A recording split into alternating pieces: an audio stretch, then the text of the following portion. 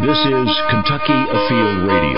This is Ron Rohde, Kentucky Afield's first host back in 1953. Now, I'm proud to present Charlie Baglan. College sports, basketball, football. How about track and field, tennis, swimming? How about bass fishing? College fishing is quite the popular sport, especially when your home court is Kentucky Lake. We go inside outdoors this week to talk with two members of the Murray State University Bass Anglers team. Justin Graben and Vincent Campisano have both fished their way to a taste of stardom on the national level. We'll talk about that and more just ahead on Kentucky Afield Radio.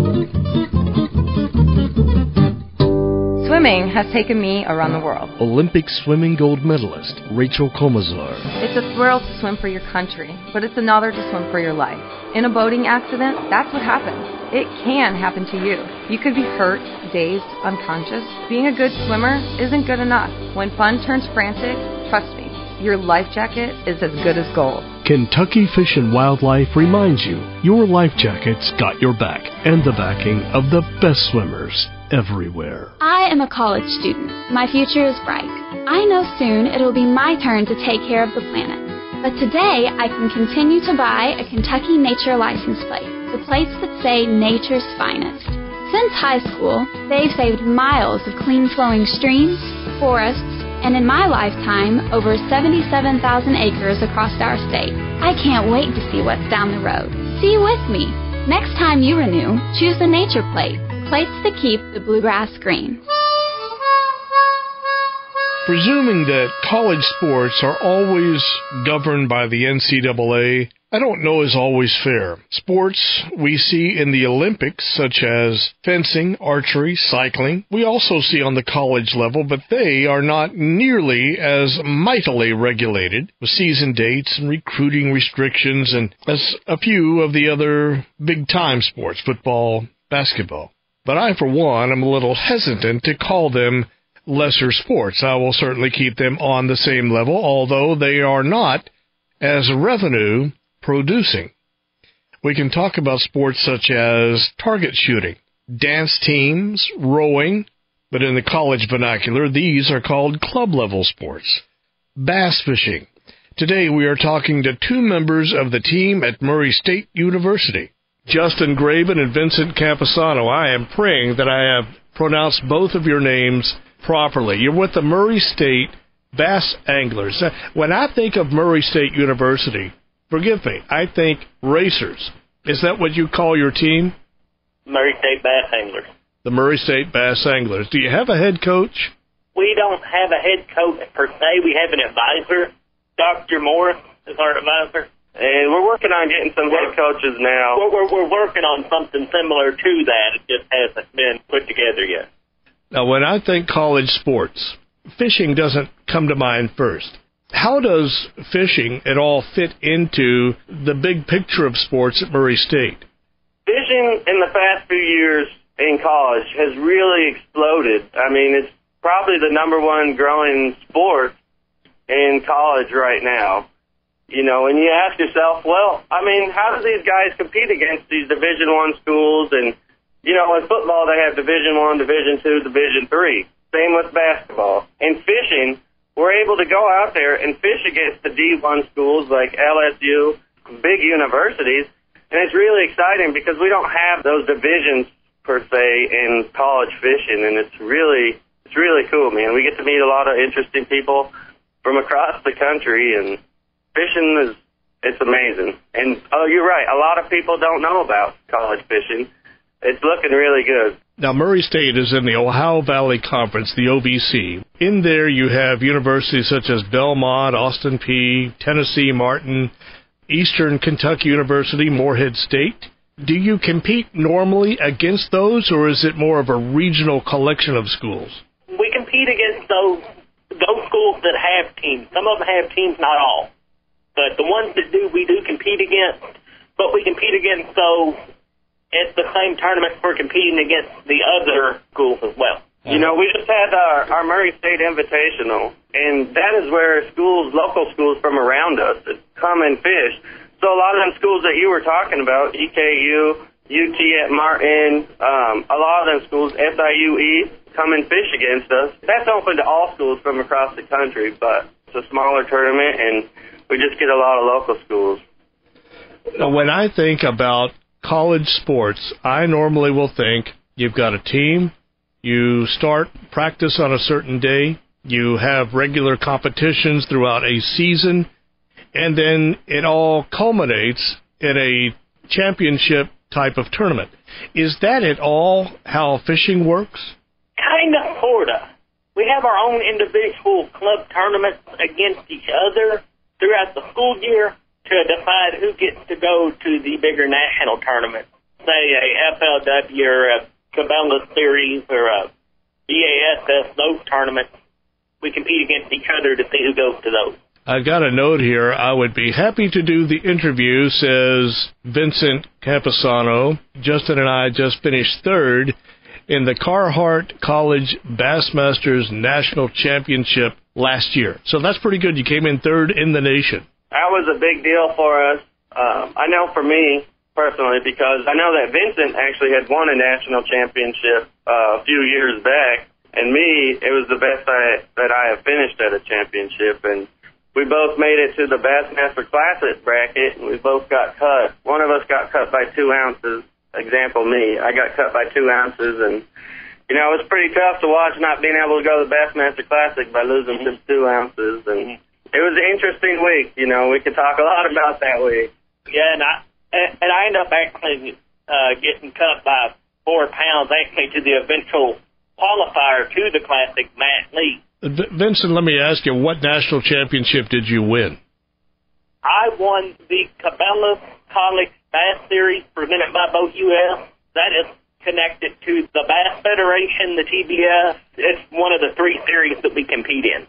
So that was a pretty big deal getting to compete in that and getting to go to the TBF National Championship, which is the Bass Federation National Championship through that. What cred does that buy you on campus? Do you get more dates in the deal?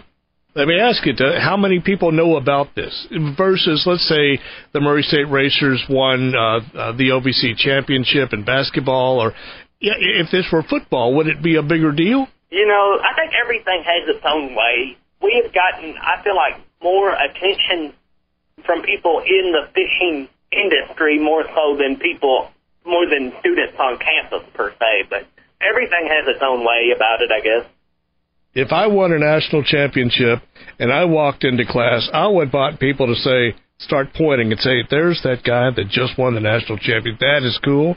I want to sit by him. I want his autograph. I want you to autograph my tackle box. That's what I would want. And I think that's what you deserve if you win something like that. You need all the glory that comes with it. And I, oh, tell, tell me what kind of glory did came with that. Well, like I said, we got to we, we got the opportunity to fish in that other tournament but also, at the same time, I feel like it kind of brought some attention to our club, somewhat from people around campus realizing that, hey, college fishing is a thing we have on campus and that this is something that people can participate in, that they don't have to be six foot tall to participate in it kind of thing. You know, it brings a different interest to college that I, I, I feel like that may get different people involved, that not just in our club, maybe in other clubs as well. And what you say about that you don't have to be six feet tall to perform well in this, that can apply to other sports as well. Archery jumps to mind. Uh, you don't have to run fast. You don't have to throw the ball farther. You just have to be a good shot. In bass fishing, you just have to catch the fish. And so size really is, is not germane to any of that. Back to talking about university sports is this on the same level? And you'll forgive me, I don't know the distinction. I'll just call them traditional sports or perhaps club level sports. I, I, was I was I was checking you all out on the web, and club sports there at Murray State: rowing, fencing, rugby, cycling, clay targets is also on there, and bass angling. Are you all on the same shelf with basketball and, and football, or are these uh, regulated, governed some other way? Uh, no, we're not really on the same level as them. They get a lot more funding through the university, but we we're we're a club driven sport. So to answer that question, yeah, we're just a club. You know, we've got about 30 active members, or 30 members on the roster, and probably about 15 to 20 really active members. So as far as having a season date of when you can start uh, practice and competition and a closing to the season, does that exist with bass angling? No, we get out there year round. Fellas, they are showing me a red light. That means I have a commercial break coming up. But when we come back, I want to know more about your recruiting for your team. So hang in there.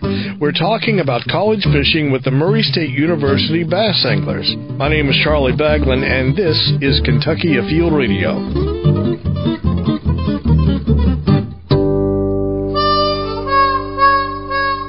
This is Kentucky Afield Radio. My name is Charlie Baglan. On the line with me from Murray, Kentucky, are two fine men pursuing degrees in higher education, catching a few fish along the way.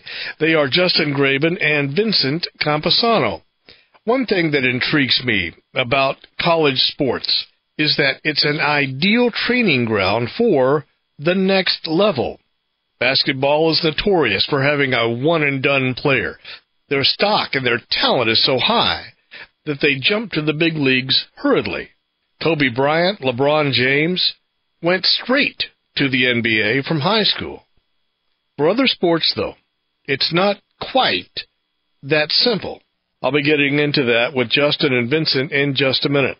So, Justin or Vincent, who is the upperclassman between you two? What grades are you in? I'm a senior, so this is going to be my last year at Murray State. And I'm a I'm a junior. I got about one more year left. We got a lot of freshmen, a lot of sophomores, a couple seniors, and uh, we're going to have a lot of high schoolers coming next year to our club also.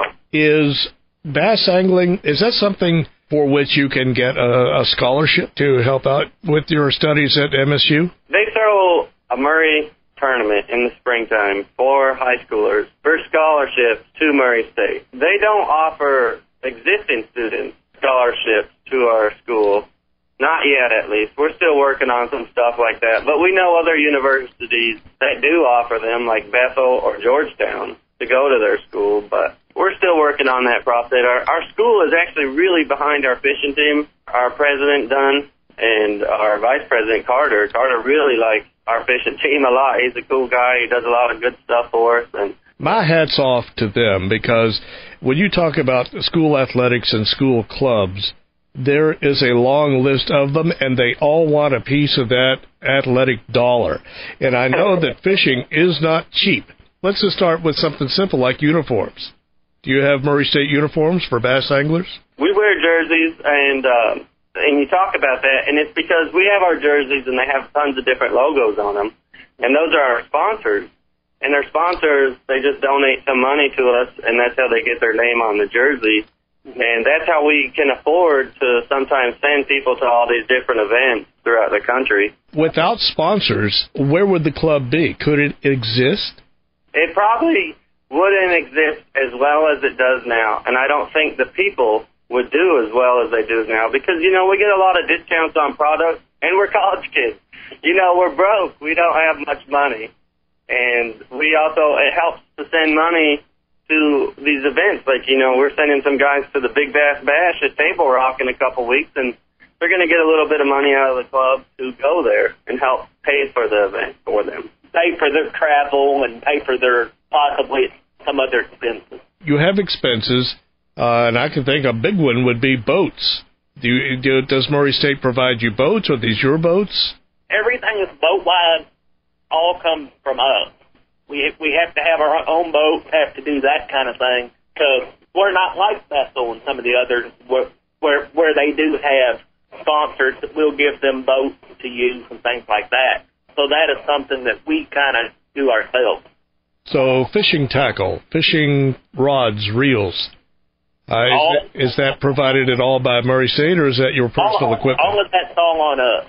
Yeah, a lot of it comes from us, and a lot of it comes from our sponsors. You know, Prowler gives us a whole bunch of bait.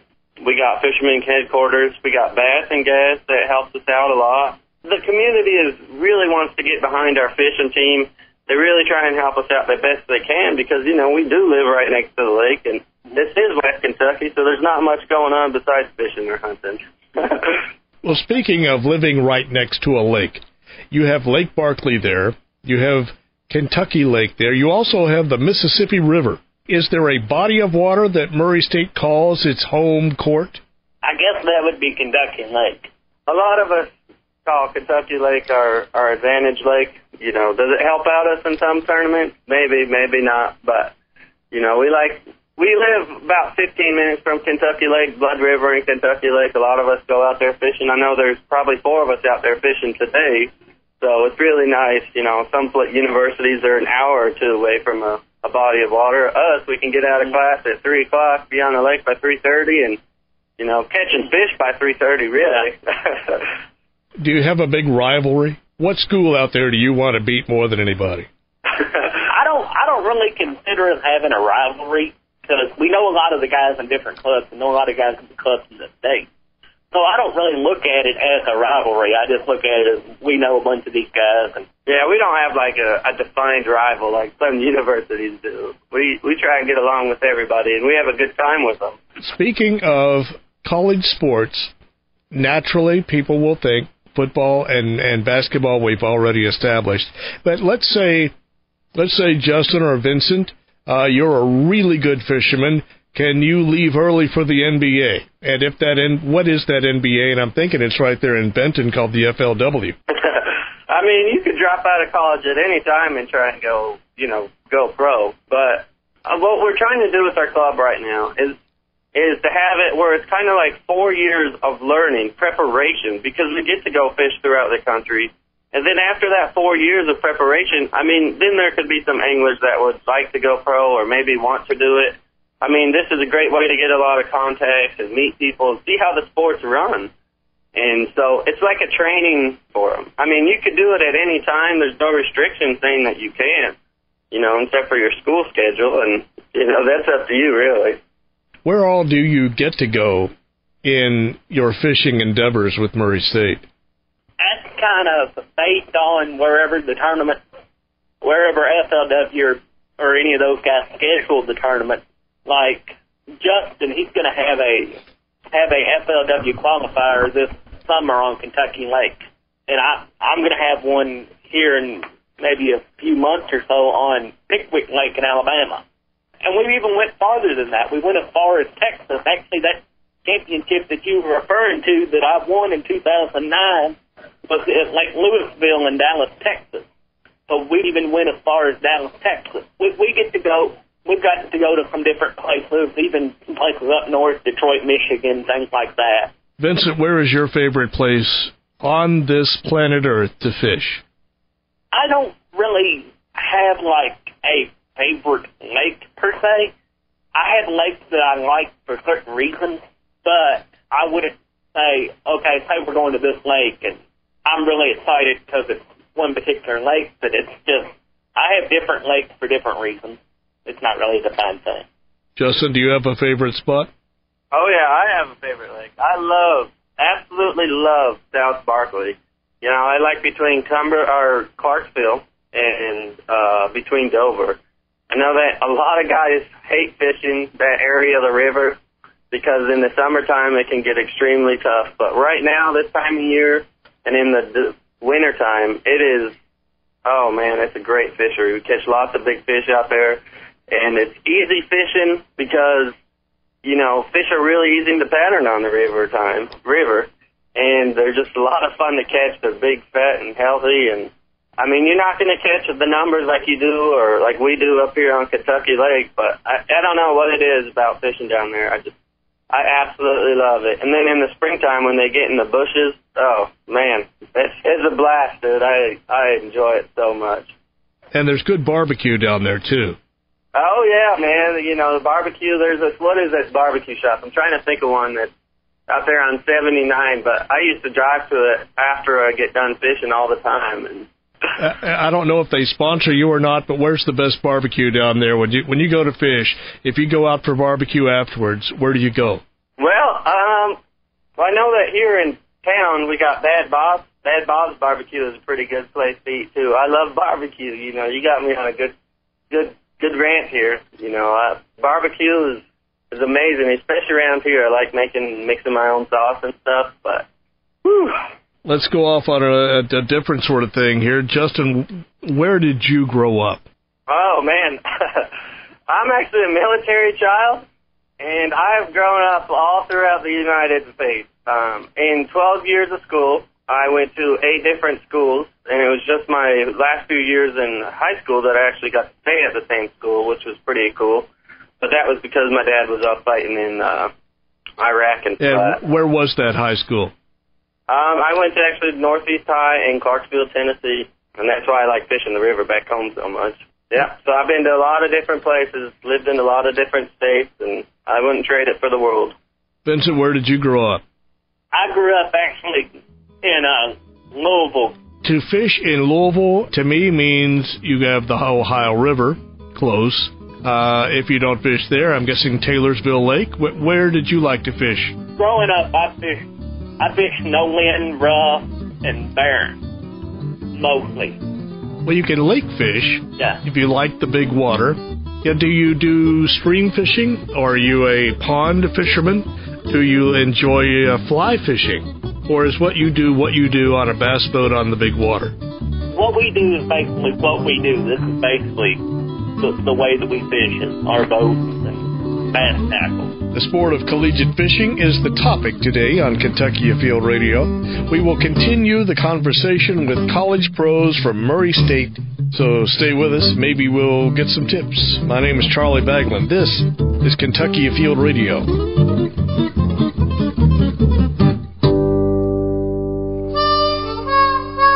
You are listening to Kentucky Afield Radio. I am Charlie Baglan, and coming up in a few days, I want to invite you to an event that you really have to see to believe. I have seen several of these, and every year more and more awe inspiring.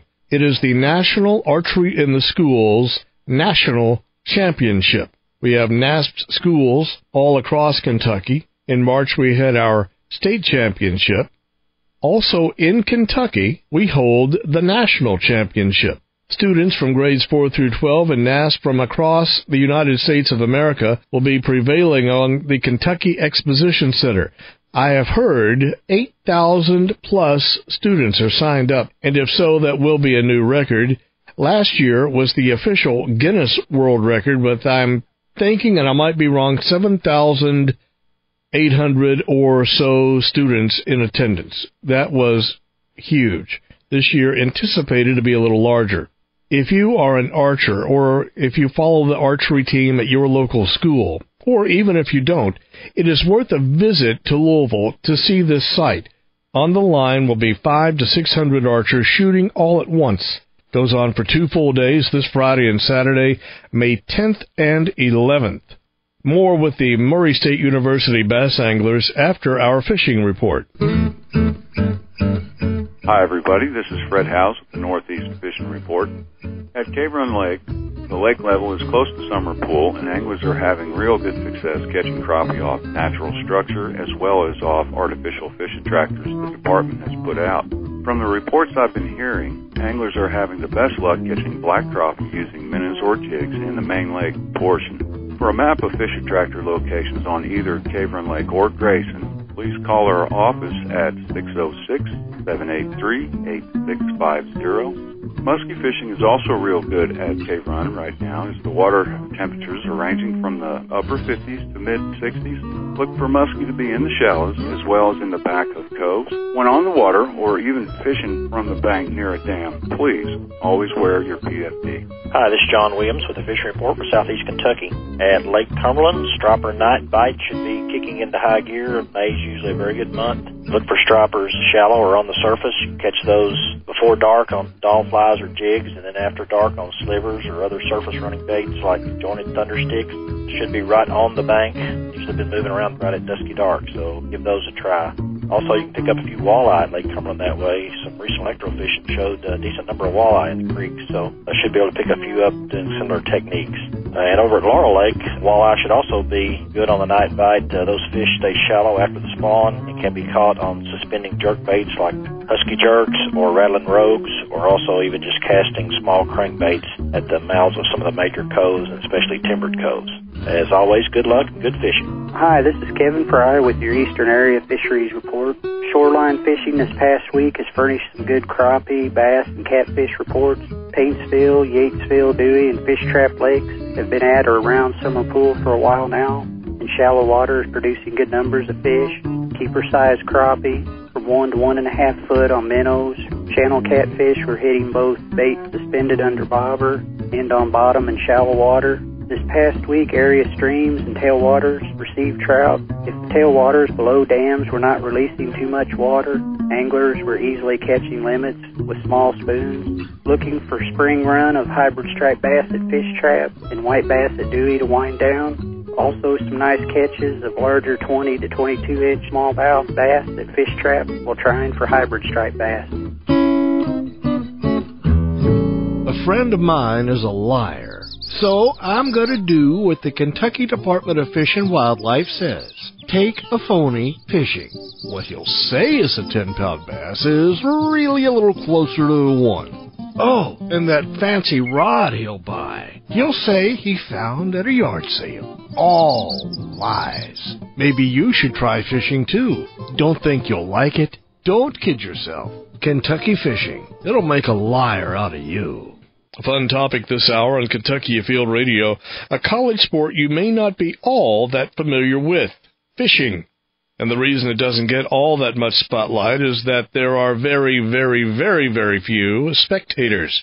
If your team catches a fish, no one stands up and cheers, except for the anglers. In fact, the players in these tournaments may be miles apart on the lake. But fans aside, the team members love it and they're as dedicated as that five star quarterback or point guard, I guarantee you. My guests are from the Murray State University bass team, Vincent Campisano and Justin Graben. So, what are your majors? Justin, uh, what's your major? Um, I'm actually a fisheries biologist.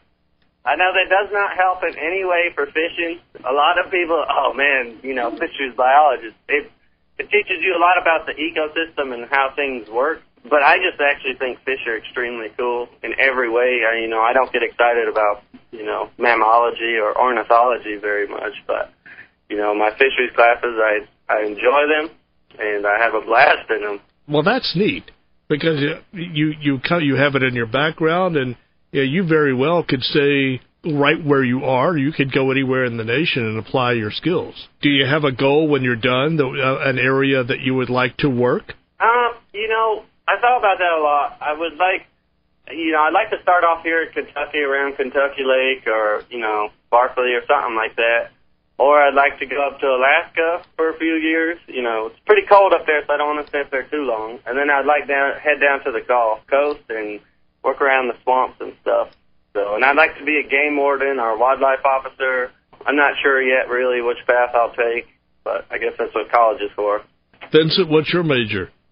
My major is actually outdoor recreation. So, so my major is more in kind of, I guess, working with all kind of facets of outdoor recreation. I really want to get in something in the fishing industry as far as like equipment and things like that.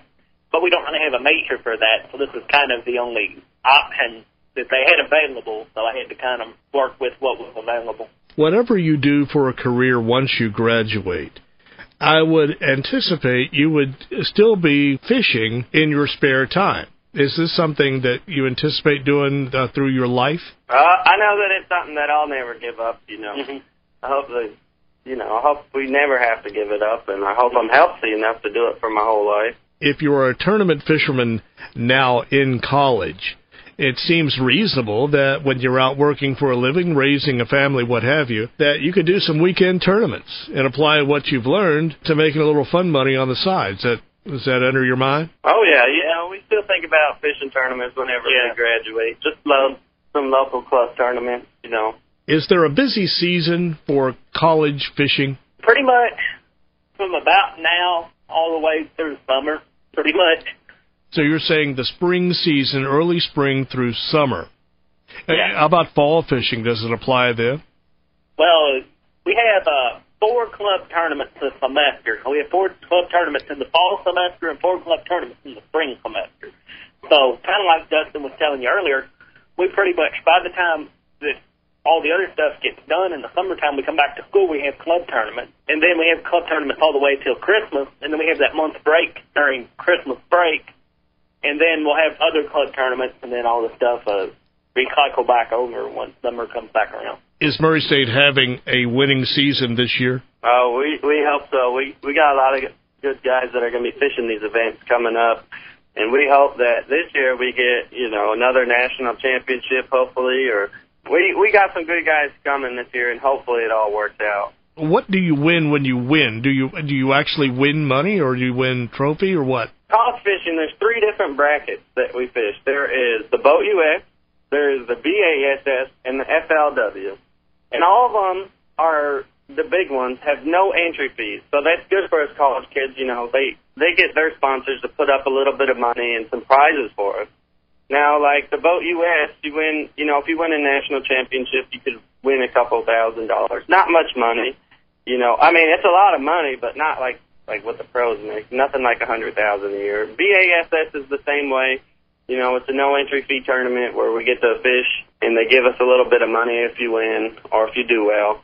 FLW is the same way, you know. They're all set up where you can make just a little bit of money just to cover enough for your gas throughout the year or something like that and they give away a lot of prizes, you know, a lot of life jackets, a lot of rain jackets, a lot of baits, you know, a lot of fishing line, a lot of good stuff. Some fishing rods, some reels. I mean, if you go to these tournaments, usually you're going to get your your gas money back, at least in some of the prizes that they give out, because they do give out a ton of stuff. The sponsors really help us out. Their sponsors really help them out, and they donate a lot of things for us if you were a football player, you couldn't take a penny of that, as I understand it. So the NCAA doesn't have a hand in the fishing part of college sports, do they? Not yet. You know, I get that question all the time from people that are trying to figure out what's going on with this college fishing. How can how can we fish these events and get money?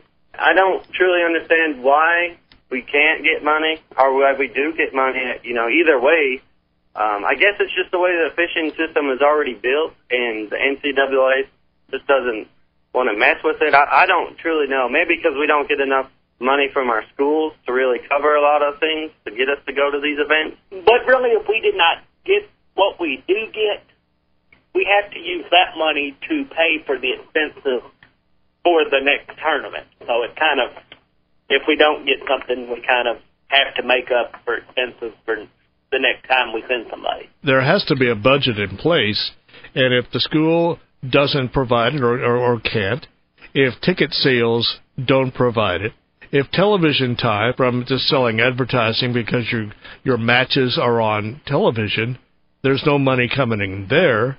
So it has to come from sponsors or it come from prize money, at least to recoup your expenses for gasoline and tackle and, and uh, food while you're there. When you participate in a bass tournament, it's not like you're going into your football stadium or your basketball arena and people are coming and sitting around and their income from concessions and ticket sales and t-shirt sales and you name it you're out on a lake and you're by yourself and nobody can see you of course, there's some clapping and cheering come way in time, but for the livelong day when you're on the water, there is very little fanfare. I will pay to see something that I can stand there and watch and cheer for, but that's not the way it is with fishing. Do you feel at all that it, it, it could be or should be? I mean, that's a tough question because I know BASS and FLW, they those are the two leading companies. They got pros or some people that follow the pros around all day. But you're right. I mean, it's not something where you could go into an arena and just watch the the athletes battle it out.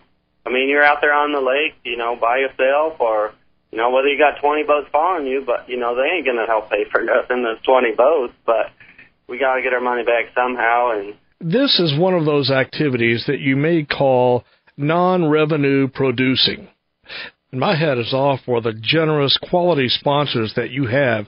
They really make the world go round for the Murray State Bass team and, and for college fishing teams everywhere. You cannot thank them enough.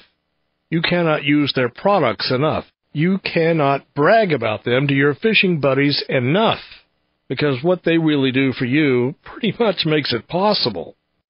Here is something we haven't touched on And in other sports, you will hear that academic infractions or academic violations, do you have to maintain a GPA uh, to maintain a position on your team?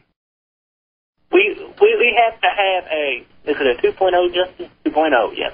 2.0 grade average to stay a member in the club. If we drop below that, we are no long we can no longer participate in the bigger tournaments per se.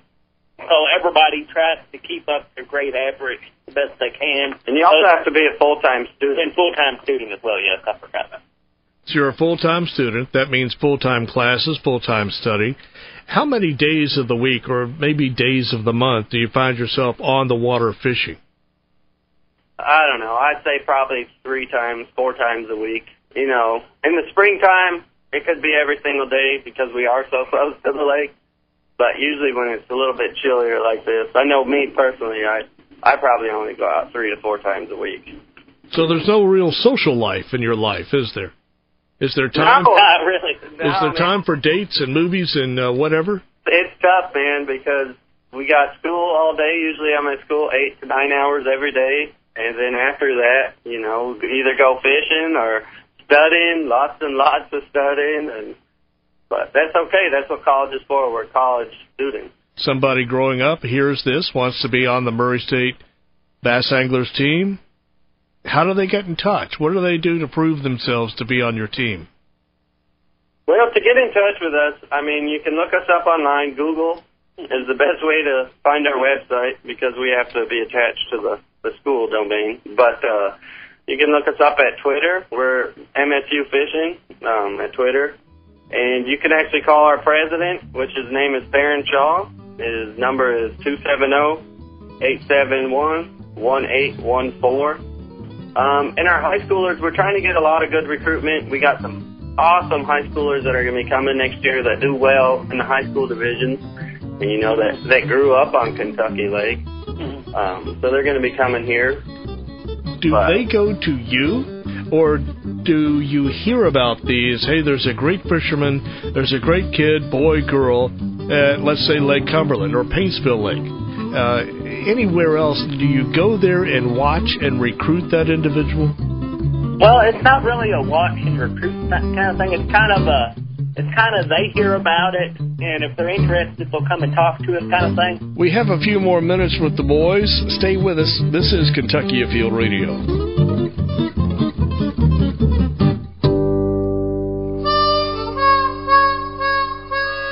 We are back talking with the Murray State University bass anglers. My name is Charlie Baglan. You know, many colleges in Kentucky have bass angling teams. If I even tried to list them all, I promise you I would leave some of them out. So I'll just stick with Murray for right now. Is your team made up of both men and women? We actually got two girls on the team right now. One of them's doing actually pretty well in our club. She's beating a lot of the boys, and we make fun of the guys below them, but you know it's it's all in good fun and Yeah, it's really good for the whole sport as a whole to have to have all them there. I would think that women would want to be a part of this, not so much to show up a guy, because you were saying earlier, it's not about running faster, jumping higher. It's not gender specific. It's how well do you fish? And if you fish well, then your team does better. that's mm-hmm. true. At the end of the day, when they're handing out the accolades, does a team win or do individuals win?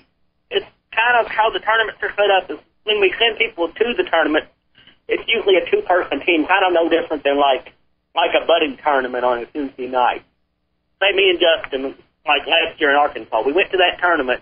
We fished with each other, and then BS threw in a twist for the qualification for the classic, where we got split up and had to fish against the other people individually. So, and when we were on two ends of the bracket, so if both of us would have made it through, we would end up fishing against each other. So that's really the only time that it's really an individual thing is with them. Well, I appreciate you coming on and telling me more about your team because I think it's great what you're doing, and I wish you both all the success in the world. Well, thank you. We really appreciate it, and we're glad that you let us on here today. Uh, let me ask you one last question. I ask this of everybody: Do you text and drive? No, I hate to see people text and drive. I'm a stickler for that, actually. Text and fish? Uh, I texted. that might be just as dangerous. I've lost a couple phones, so as long as we don't do it when we're driving the boat, we're all right. Guys, thank you. All right, thank you. On the subject of sports, one way to get your name in lights is to set a record. Think about this the next time you grab your tackle box. There's a special report from Kentucky Afield Radio. One for the record books, page two. Next on Kentucky Afield Radio. Most folks who hold a fishing rod only dream about holding a state record fish. Even with a tackle box full of sophisticated weaponry, sometimes the secret to landing a big fish boils down to luck. But part of catching a record is knowing it when you see it. There are nearly 250 species of fish in Kentucky, so angler savvy is often the first clue if the fish on the end of your line might make you famous at the end of the day. Some of the best waters for a state record is the Ohio River. Since 1987, the Ohio River has produced more trophy fish for our Trophy Fish Master Angler program than I believe any other water body in the state of Kentucky. Farm ponds are probably the next biggest producers of trophy fish. Lee McClellan is the Kentucky State Record Fish Program Coordinator. He says there are 50 current state records held on Kentucky fish. The next record could come from any of the lakes, creeks, or rivers we see every day. For bass, the best lake in the state is Kentucky Lake. And if I'm going after a trophy crappie, I would go again back to Kentucky or Barkley Lake. Barkley has an overlooked crappie fishery in it. Trophy trout, the only place I would go would be the Cumberland River. For smallmouth bass, uh, Dale Hollow, of course, is the perennial smallmouth bass king, one of the best smallmouth bass fisheries in the world. From minnows to muskellunge, Kentucky takes pride in its diversity of fish and fishing opportunities year round a business that contributes $1.3 billion to the state's economy every year. If you catch a state record, or you think you potentially catch a state record, again, you have to contact one of our fisheries biologists. They're located in the Sport Fishing and Boating Guide, which every angler and boater should get a copy. They're free. They're available wherever we sell fishing licenses. A lot of people want to contact one of our boating and wildlife officers. They do not certify record fish. Fisheries biologists do. We all like to crow about our catch. After all, what's the use of catching a big fish if you can't gloat? But a license to fish isn't a license to stretch the truth. Probably a tool now in our bag that we use when we check state record fishes might be a metal detector. Fisheries biologist Kerry Prather. Feeling the body, feeling the belly, which would be about the only place you could uh, enhance a weight on a fish. You're looking at shoving something down the throat of the fish. Well, let's hope that doesn't happen. That'll get them disqualified quickly, even if it is a state record. That's one area where we don't want to fudge. And you talk about losing respectability really quick. Just like with anything, if there's people who want to cheat, they're going to cheat, unfortunately. But we have a lot of safeguards in our process. That's why we're so stringent. If there's any question, we investigate. That's why it takes us a while sometimes to certify fish. To maximize the weight of your fish, Keep it alive as long as you can in cool, fresh, well aerated water, right up to the time it's officially weighed. Amid some of the other record requirements, make sure you're in Kentucky water. Several rivers and lakes are shared with surrounding states. That's one of the controversies that always arose around the uh, all tackle world record smallmouth that was taken by David Hayes in 1955 in Dale Hollow. Evidence came back later that this fish had been tampered with, and uh, the International Game Fish Association, because it was tainted, dropped that fish as their all tackle world record. But one of the things also that surrounded that fish was whether or not it was taken in Tennessee or Kentucky waters. Many Kentucky records were set in the 1950s. Some were set in stone. Some of the fish that were caught back in the 50s and 40s, those lakes were new. On the lake floor, there are a ton of nutrients that are stored in there, especially if it was farmland. They had so much more to eat. The record sturgeon, 36 pounds 8 ounces, caught in Lake Cumberland in 54. The record walleye in 58. Lake Herrington surrendered the state record white bass of 5 pounds in 1957. I don't think our walleye record will ever be broken. That's just my personal opinion. I hope that it is tomorrow. But uh, 21 pounds 8 ounces is a whopper and uh, I don't know if we'll have the conditions to ever recreate that again here in Kentucky. Important to note, Kentucky state record fish are only the largest fish to be caught and recorded. In this aquatic game of hide and seek, fisheries biologists believe, and to a certain degree know, there are larger fish out there and that records can be eclipsed anytime by anyone. Any takers? To learn more about Kentucky's fish, log on to the Fish and Wildlife website at fw.ky.gov. Turkey season ends this weekend. I hope you brought home a butte. Last day of gigging and snagging season for rough fish, Friday, May 10th. Mother's Day next Sunday. I hope that's a wonderful day in your household. I'm Charlie Baglan. Come back again in a week and we will go inside outdoors again here on Kentucky Afield Radio.